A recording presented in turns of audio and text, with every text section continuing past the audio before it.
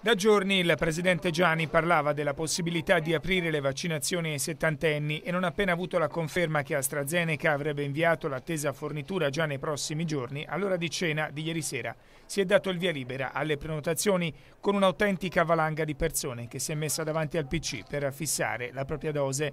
A differenza di quanto accaduto la scorsa settimana per le persone fragili, stavolta il sistema non è andato in tilt, ma le attese sono state limitate. Vaccinazione sprombattuto con appuntamenti fissati negli hub della Toscana anche a Pasqua e Pasquetta.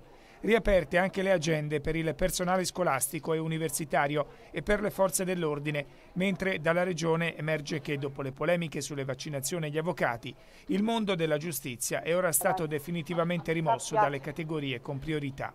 Sono 14.000 le prenotazioni fatte ieri nella prima ora dall'apertura delle agende. Al Mandela Forum, in attesa dell'ampliamento dell'orario di chiusura dalle 19 alle 23, è in corso anche l'allestimento di nuove cabine vaccinali per aumentare la potenza dell'hub.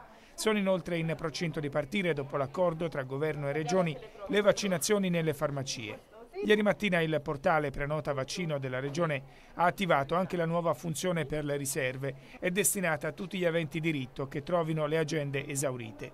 Resta il nodo delle persone vulnerabili che hanno riservato il vaccino Moderna e che quindi vedono il destino della propria dose legato alle forniture della casa farmaceutica.